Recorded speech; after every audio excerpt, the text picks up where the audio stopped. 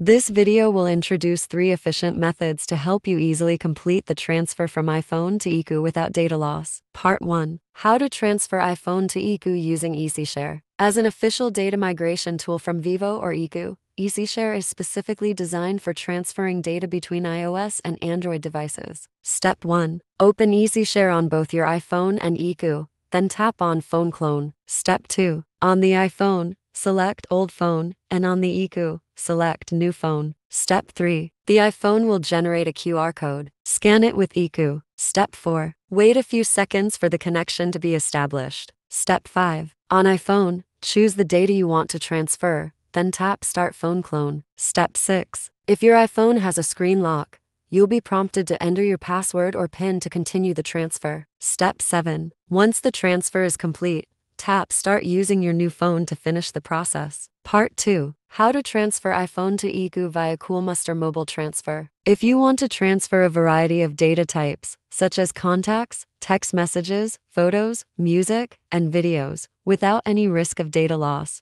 then using the professional tool Coolmuster Mobile Transfer is the safest option. Step 1. Download and install the tool on your computer, then connect both your iPhone and iQOO phone to the computer using data cables. Follow the on screen instructions to ensure that both devices are recognized by the software. Step 2. Once both the iQOO and iPhone are successfully connected to the program on your computer, you will see the interface below. Make sure the iPhone is set as the source device. If not, Click the flip button to swap their positions. Step 3. Select the desired content in the middle panel you want to copy, then click the Start Copy button to begin the transfer. Part 3. How to transfer iPhone to iQOO with Google account. For those who only need to sync basic data such as contacts and calendars, transferring from iPhone to iQOO via Google account is also a simple and convenient method. Step 1. On your iPhone, go to Settings Mail Accounts Add Account, then select Google and log into your Google account. Step 2. After logging in, enable the data types you want to sync,